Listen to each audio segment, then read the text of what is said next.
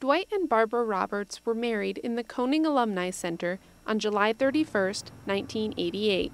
Shortly before he passed away in 2002, he gave his wife this cat, Margaux, named for his favorite wine. It seemed only fitting that after his death, Barb would find a way to keep his memory alive as well. For my, you know, for my own personal reasons, it's something that that will keep Dwight his memory. It wasn't easy. It took her five years before something struck just the right note.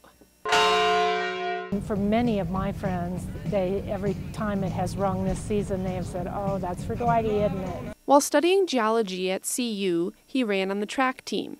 After graduating in 1957, Dwight continued his service to the university for more than 20 years, serving as the first president of the CU Foundation. But greater than all of this was his love for CU sports. Gosh, we went to so many different things and involved in so many things, I'm not sure I could pick out one. Well, we went to every um, basketball game and football game possible. The Spirit Bell isn't the first of its kind. One used to ring in Macky Auditorium. But a celebration of a victory over Mines in 1926 put a crack in the bell and an end to tradition.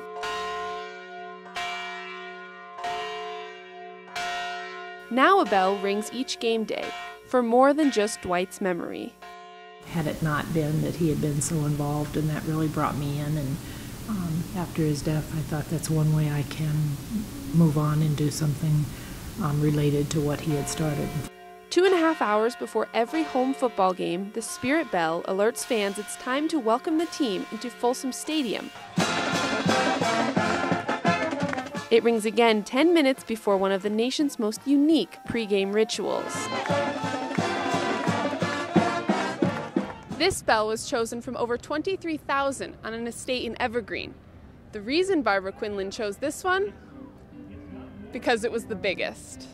Each game day, Barb listens to the resounding F sharp that the 1,800 pound bell produces. We rang them for tonality. I had looked at another one that was from Mount St. Gertrude, but I didn't feel it was large enough for what I thought would ring out across campus.